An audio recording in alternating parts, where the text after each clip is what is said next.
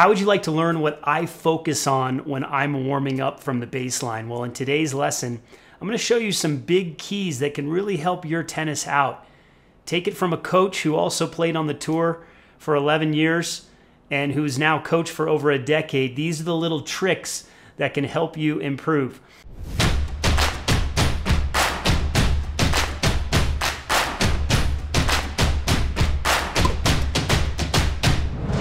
My name is Jeff Salzenstein. I'm the founder of Tennis Evolution, one of the leading online tennis instruction websites in the world.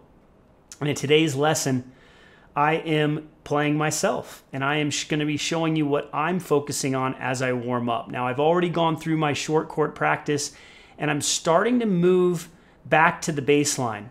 So, right away, you can see right there, even early on in this lesson, I'm having a conversation with a parent on the sideline there.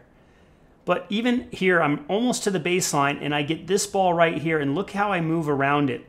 I'm hitting an inside out forehand. Why am I doing that? Because I'm training myself. If I were to play a point, if the ball comes through the middle, I'm not going to move to my left. I'm going to move to my right. Also notice the shuffle as I move. Now, one thing I could work on that the pros are doing a better job of than me here is the off arm. I could keep my hand on the racket a little bit longer, but I did separate early there. That works for me so that I'm not late on the forehand. So if I was playing more tennis, I'd probably work on that more. Now I've shifted back. People say, oh, you should never step in, you know, don't step into the ball. Well, here I am on my front foot. Now I'm not stepping across. I'm still staying a little bit open here. Look at where this foot is. Okay, notice the extension. Look at that extension. Look how high my racket, you can't see the racket with the lights, but look at how high my racket goes here. Okay, look at the net clearance on that forehand. Okay, a couple feet over the net. Now I'm behind the baseline. Not much of a split step there. I, could, I, I get in trouble Again, look at my first move. Off arm pulls across the body. It could pull across a little bit more. Notice how I keep the racket on the left side of the body. That's something I didn't have on the tour. I had a little tail, and that hurt me on fast courts. I've worked. I'm, I'm worked on that as I've learned more as a coach. Again, notice the extension. The big thing I want you to notice is the extension and the spacing. I also want you to notice again comes to the forehand, watch this little shuffle move. Most people don't do that shuffle move. They just drop step and turn sideways. Okay? Now look at my head on this one. Look at my eyes. I'm not even looking up to see where the ball goes. So I finish. I have a good finish. I have good movement around the ball. I'm keeping my head at contact. These are all things that I'm focusing on when I play.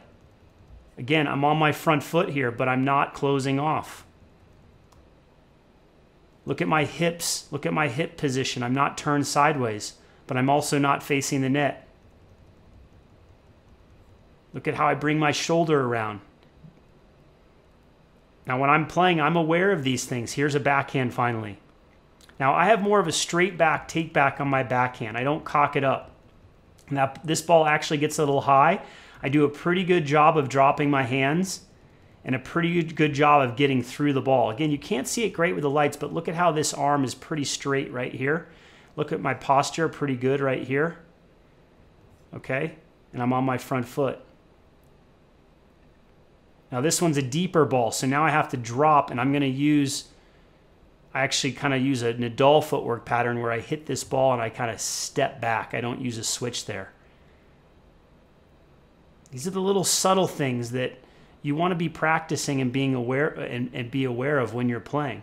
So I move to this ball. Look, I load this leg and I go outside hop. That's what I call the outside hop. So I'm I'm pushing off this foot.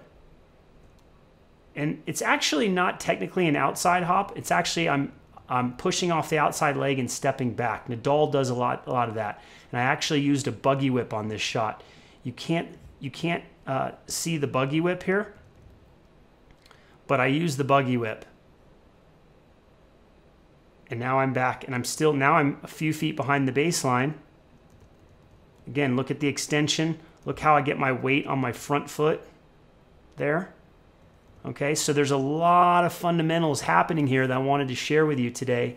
And to summarize it, I want you to I want you to create that space around the ball. I want you to extend and have a good follow through. I want you to work on looking for forehands and shuffling around the ball. And understand that you can get on your front foot, but you don't want to step across in a closed stance. You want to try to keep your body semi open even when you step in on the front foot. So I hope you enjoyed this video today. Uh, please share it with others. Give us a thumbs up if you enjoyed it. And these are the things, again, that you can do to warm up and improve during your warm up. I have a purpose to my warm up. I'm always focusing on something to get better. I'm not just randomly hitting.